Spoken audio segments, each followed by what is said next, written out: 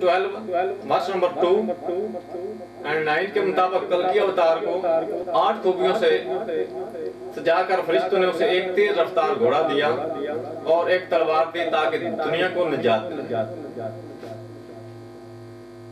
इसके बाद Bhagwat Puran section number one वर्ष नंबर थ्री चैप्टर नंबर छब्बीस में है।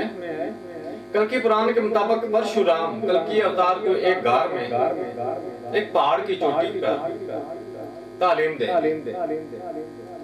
कल की पुराण ये भी कहती है कि कल की अवतार शुमाल में जाएँगे और फिर वापस आएँगे। इसके बाद कल की Puran section two chapter number five में है। कल की अवतार के चार साथी होंगे जो शैतानों को जहर करने में कल के अवतार की मदद करेंगे। इसके अलावा कल की Puran section two chapter number सात के मुताबिक फरिश्ती कल की अवतार की मदद करेंगे। यानी कि देवता कल के अवतार की मदद करेंगे।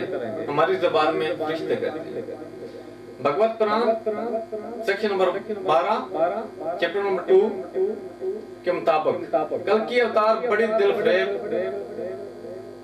शख्सियत के मालिक होंगे। इसके बाद भगवत पुराण सेक्शन नंबर,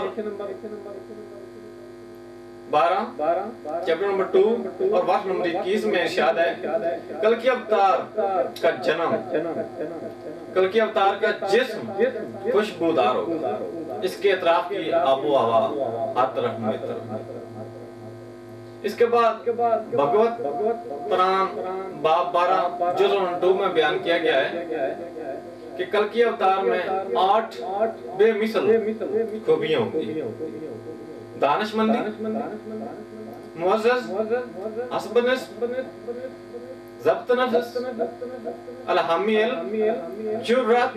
मुतवाज़न। गुफ्तगू। बेइंतहा सखावत और जज्बा ईसान मंदी। ये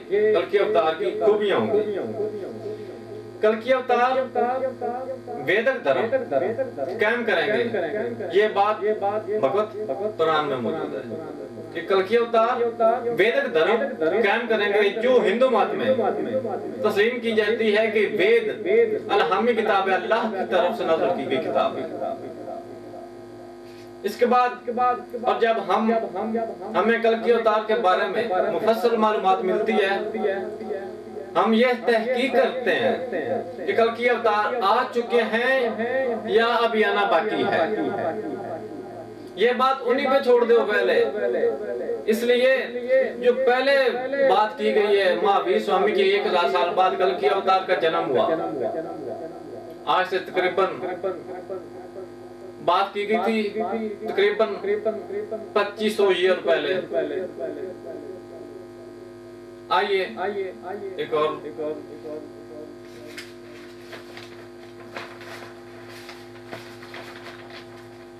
खानदानी पस मंत्र का थोड़ा सा जायजा लेते हैं। हिंदुस्तान।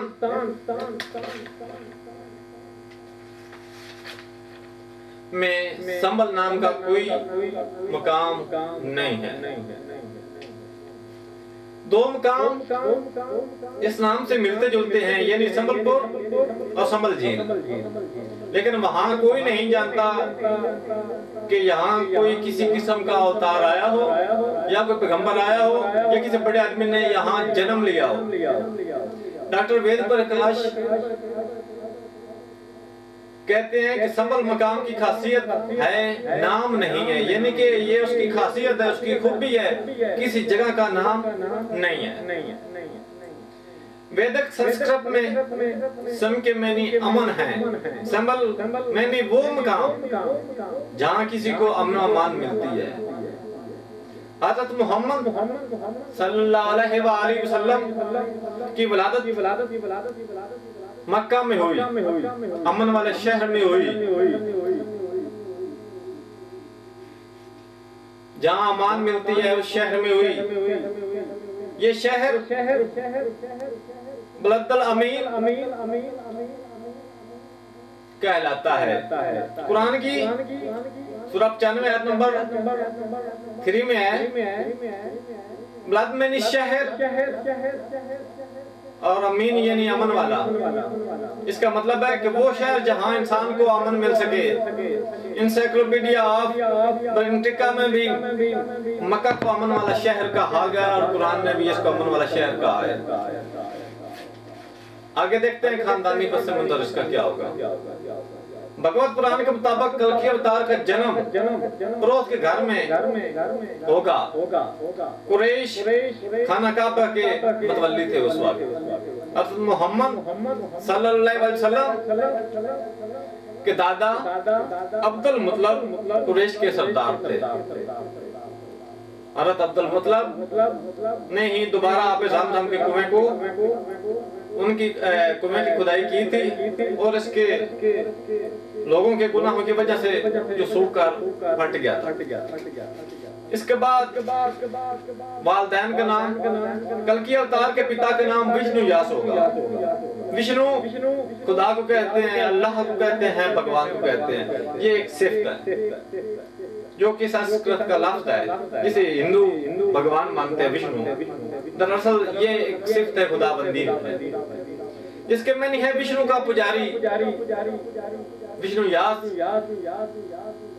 बंदगी करने वाला अल्लाह की, भगवान की, ईश्वर की, या खुदा की इबादत करने वाला।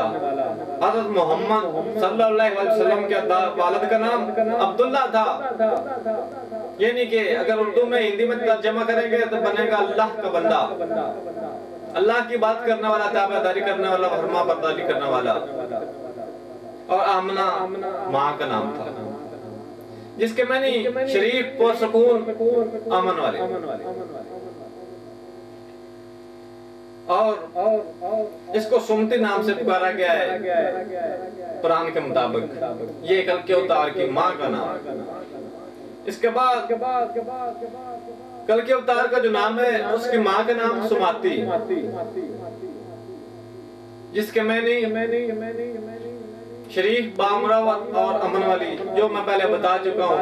अगर आप उसे अरबी में ट्रांसलेट करेंगे तो अमन। इसके बाद, के बाद के बाद के बाद अमन अमन अमन आमना आमना आमना शरीफ मुअज्जज ये उसके मैनी हो गए। इसके बाद शख्सियत को जो किरदार है वो कैसा होगा? आइए। कल की पुराण में इरशाद है कि कल की अवतार अपने शहर से शुमाल की तरफ़ जाएँगे। और फिर वापस आएँगे। हम जानते हैं कि हज़रत मोहम्मद सल्लल्लाहु अलैहि वसल्लम शुमाल की तरफ़ मदीना में हिजरत की। फिर आठ साल बाद आप सल्लल्लाहु अलैहि वसल्लम वापस मक्का आए। कल की पुराण में कहा गया है, कल की अवतार एक पहाड़ पर जाएँगे, जहाँ पर परशुराम उन्हें तालीम देंगे, वही है इलाही की तालीम, इल्हामी इल्म की तालीम देंगे। अब ये देखना होगा ये परशुराम है कौन? परशुराम जिब्रील को कहा गया जो कासद है पैगम्बरों का और जो खुद भी पैगंबर है, जिब्रील। अल्लाह ताला का एक खास रिश्ता। ये एक तारीख हकीकत है कि हज़रत मोहम्मद सल्लल्लाहु अलैहि वसल्लम एक पहाड़ की चोटी के घर हिरा में जाया करते थे। वहाँ घरों फ़िक्र किया करते थे। खामोशी से तदब्बर किया करते थे। इसी घर में जो घर हिरा थी इसमें जिब्रील ने चालीस साल की उम्र में इन्हें अपनी पहली बार कुरान की तालीम दी। भगवत पुराण में इरशाद है कल की अवतार दुनिया का निजात दहिंदा होगा। कोई शक नहीं इसमें। कुरान करीम इरशाद है हमने मोहम्मद सल्लल्लाहु अलैहि वसल्लम को रहमत आलमी बनाकर भेजा। तमाम आलमों के लिए एक रहबर के तौर पर। ये कुरान की सूरा 21 आयत नंबर 10 में कहा गया है। वमा का इल्ला रहमतुल लिल आलमीन। और हमने मोहम्मद सल्लल्लाहु अलैहि वसल्लम को भेजा। रहमत बनाकर तमाम आलमीन के लिए क्रैपर के तौर पर। इसके बाद, के बाद के बाद के बाद। रहमत के मैंने खुदा की रहमत। आलमीन के जो मैनी है, वो जहान, दुनिया बहुत सी दुनिया। इसका मतलब यह तमाम दुनिया हज़रत मोहम्मद सल्लल्लाहु अलैहि वसल्लम से हदायत पाएगी, ताकि वो इस दुनिया में अमन सुकून से ज़िंदगी बसर करें। और वो तब से ज़िंदगी अपनाए जिससे वो निजात पाए। और इन दूसरी दुनिया जो दायमी कामयाबी है और ये तारीख हकीकत है कि सल्लम की नबूत के पहले अरब अरब और सारी दुनिया गुमराह की तारीख में डूबी हुई थी। आप ने इन्हें कामयाबी का रास्ता दिखाया। यूनानियों ने, मिस्रियों ने, इसके बाद कई मुल्कों में जो जहालत की ऐसी अंधेरियों में डूबा हुआ था, कुछ आग को पूजने वाले थे, कुछ दरियाओं को पूजने वाले थे। वो नस्बत जो खुदा से होनी चाहिए, वो दरियाओं से, वो पानियों से।